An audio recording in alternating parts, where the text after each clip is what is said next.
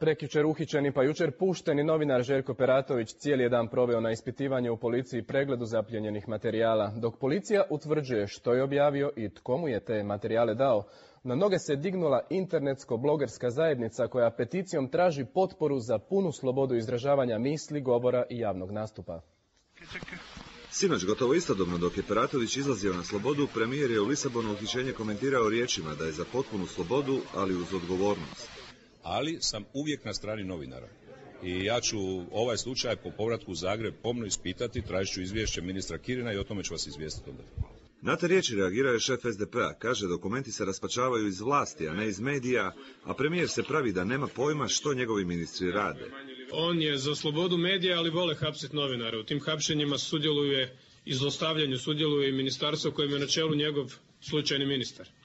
To je bit te priče. Dakle, on je protiv toga što radi njegovo ministarstvo i ponovno će vidjeti što se događa. To je jedno 50. put u mandatu ove vlade da se slične stvari događaju.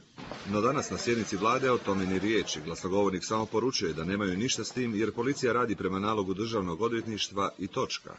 Jedan od najutjecajnijih hrvatskih blogera kaže da je šokiran postupkom države, te kako se čini da je ministar Kirin imao pravo kad je rekao da policija prati servere.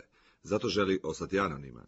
Ovaj potez će vjerojatno negativno utjecati na slobodu mnogih koji su u posljednjih godinu dana e, puno afera ovaj, pokrenuli i lansirali s, interneta. Neshvatljivo ističe da čovjeka koji objavljuje pod punim imenom policija privodi kao zadnji kriminalce i boji se da to nije slučajno učinjeno u oči samih izbora. Internet naime, osim za šale i pošalice na račun kandidata, služi i kao medij za ozbiljnu političku kampanju. A ovo je iznimno ozbiljna situacija i vrlo, vrlo opasan presedan i ja ne znam ono što će se događati u sljedećih mjesec dana, ali e, nije, nije dobro počelo.